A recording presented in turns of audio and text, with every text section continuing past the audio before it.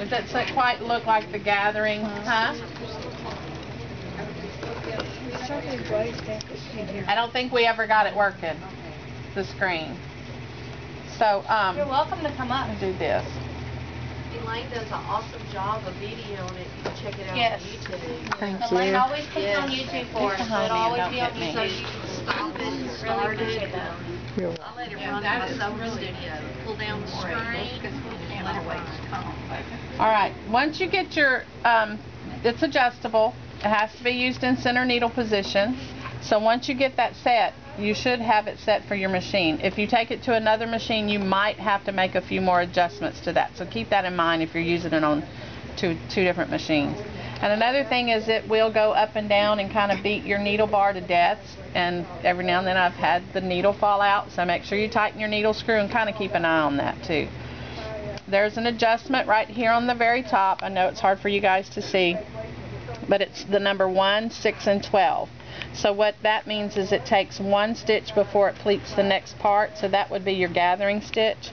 The 6 means it takes 6 stitches and then gathers, so that's where the pleat comes in.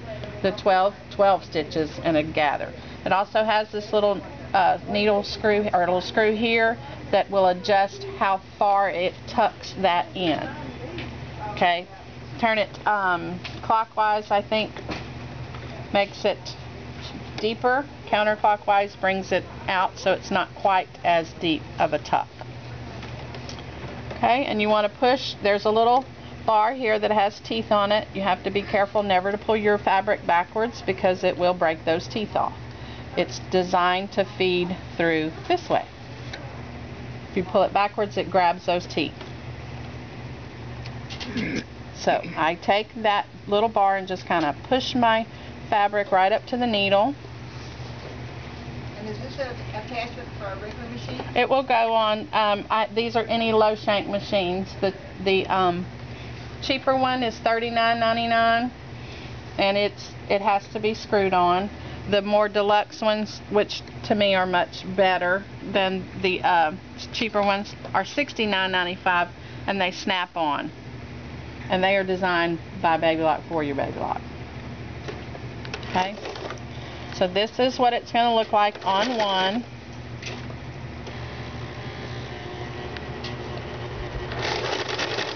Uh, it's not feeding. There we go. Still not feeding. Which is another reason why I like the better one.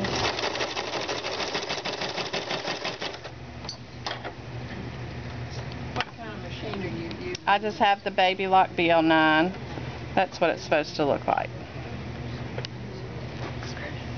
And that's with it set on one, so that's your gathering. Oh, that's tight. It is real tight. So I'm gonna move it to six. And I'm gonna back the little needle bar out, the little screw out a little bit.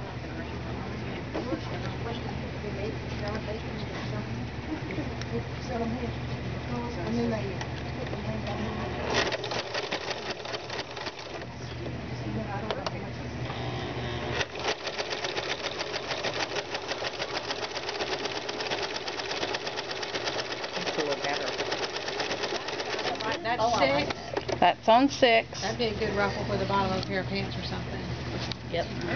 And it, and I backed out my screw a little bit so that it doesn't put that mm-hmm. tuck in there quite as much as I was trying to do on the one. Probably on the one you'll need to back it out a little bit.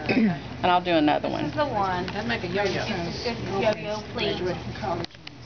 Then we're gonna go to twelve. And then here was the six.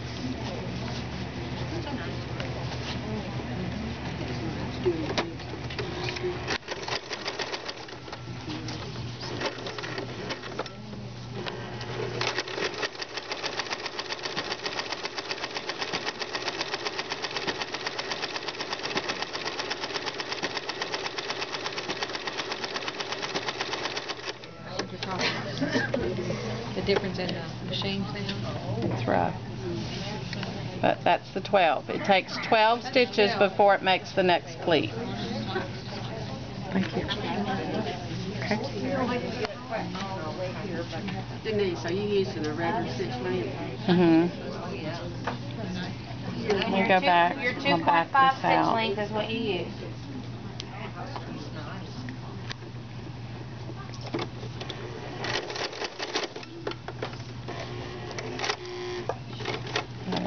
Stitch off.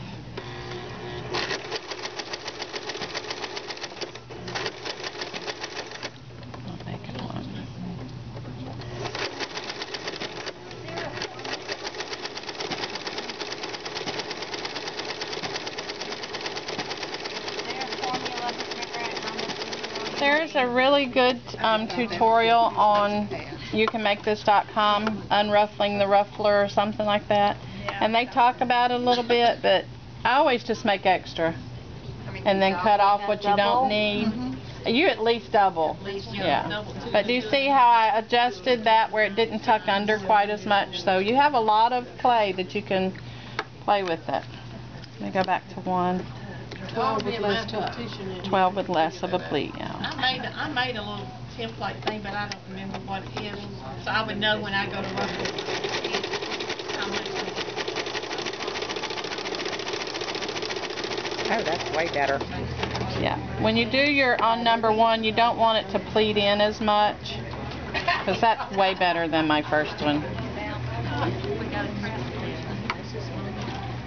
That's the one? Alright, now I'm going to put this on 12. And I'm going to let it tuck it pretty good.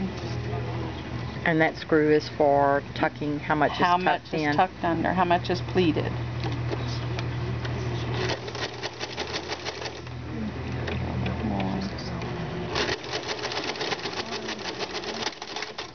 See, my needle came out. I didn't check that and I broke it.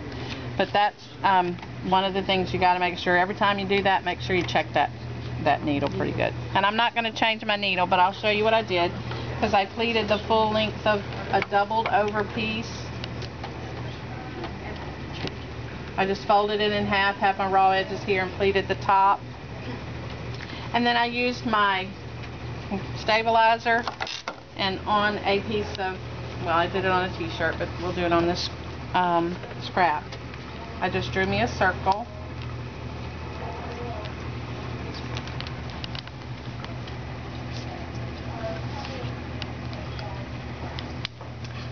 My chalk keeps breaking. They make this little holder. Can't find ours. Another item that walked away.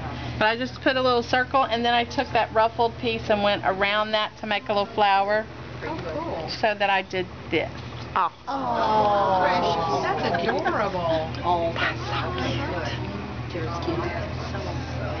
And at the very end, you just take, you leave this tail about four inches and then you twist that and twist it into the middle. And you hand, I have mine still pinned, but you just tuck it into the center and then stitch that down. And that's my demo for today. And now our lady has the shirt. So how long was the, the It was um, two width of fabric. That's what I started with, but then I cut off quite a bit. So Didn't you bring the quilt?